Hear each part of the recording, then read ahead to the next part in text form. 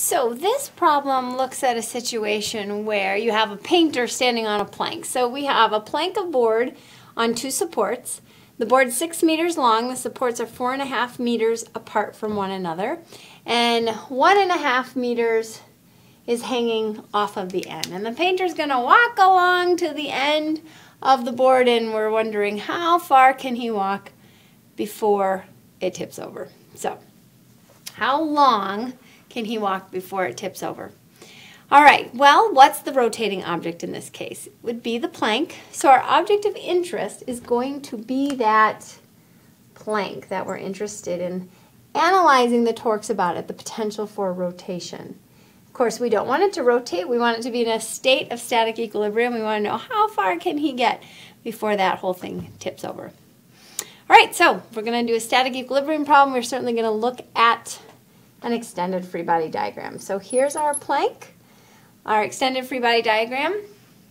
We want to put all the forces on that. We're told it's a uniformly distributed board, therefore the force of gravity is acting at the geometric center.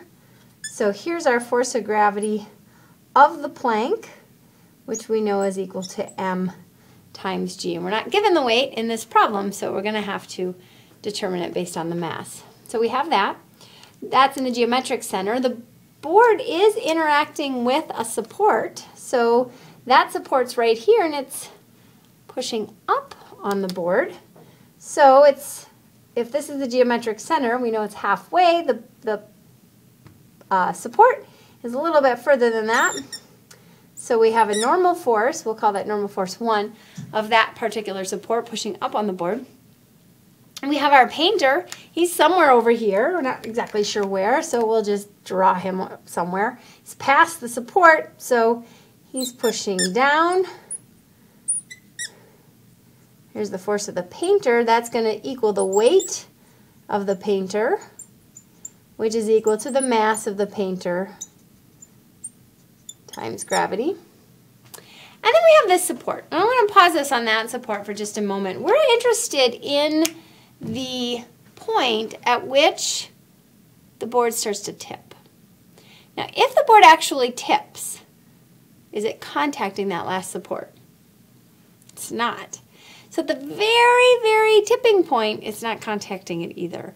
So while if he's happy on that board, if it's not at the verge of tipping, we certainly would have an upward force that would be causing a torque on that board. But if we're at the point of tipping, there is no force at that point because it's just coming off. And it's a contact force and it's reactive, so it only has to be there if it needs to be, and it doesn't. So that's it. These are the only forces acting. All right, so we're interested in looking at the rotation of this board. So we have to select a pivot point.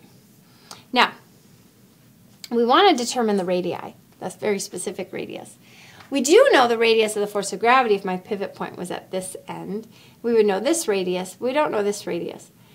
We also want to think about what we know and what we don't know, what our values to eliminate would be. Is there anything in this problem that we don't know the value of other than the radius?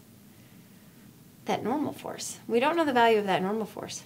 So if I were to select to put the pivot point at this location, then it doesn't really matter what that value is because at that pivot point, the normal force is not causing a torque. So let's use that strategy and see where it takes us and see if it works. All right, if this is our pivot point, we then are going to identify each of the forces. So one, two, and three. Oh, I should have made that a different color. Let's do this that orange since it's written in orange. There are only three forces acting on the board. And we will look at the net torque. I'll use my yellow. So the sum of the torques, we know are going to equal 0. So we have torque 1, torque 2, and torque 3. Torque 1, force 1 times radius 1 times the sine of the angle 1 all right, my first one is the force of gravity on that board, so of the board. So force of gravity of the board times the radius. All right, so we need to figure out the radius. That's the radius from the pivot point, let's let me use green, to the force. So this is radius 1. Now, if the board, we know this pivot point is located 4.5 meters from the end of the board. That's given in the problem. And we know that the force of gravity acts at the geometric center, so that's 3 meters, since the board is 3 meters long.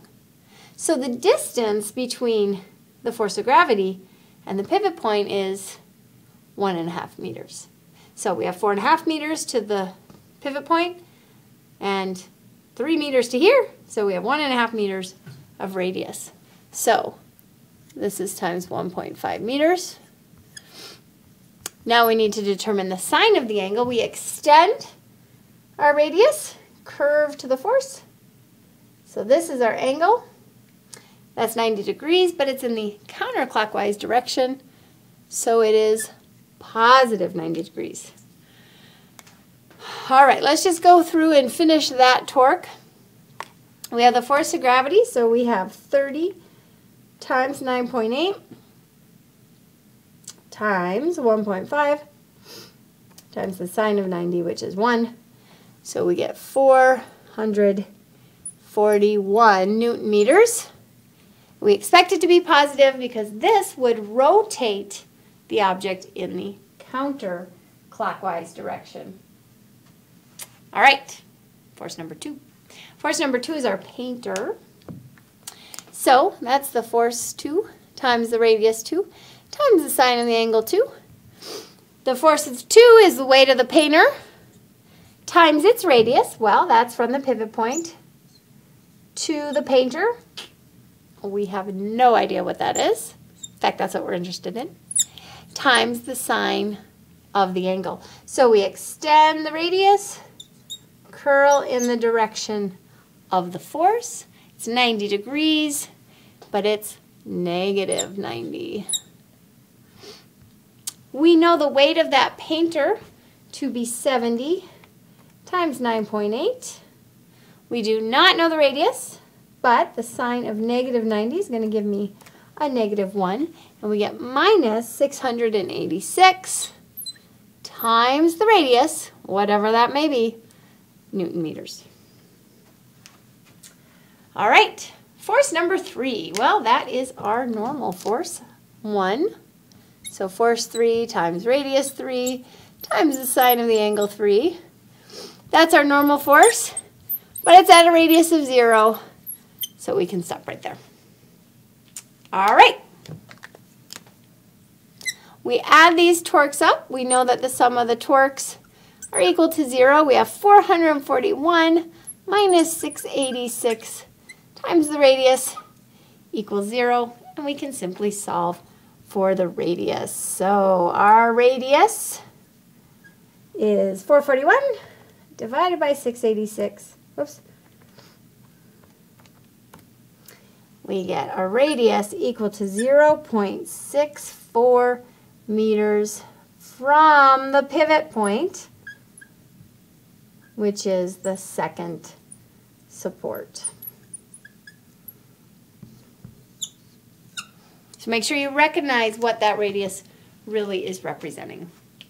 All right, so you have at least a half a meter of safety, a little bit more, another tenth, another 10 centimeters, and that painter won't start tipping. Okay, good job.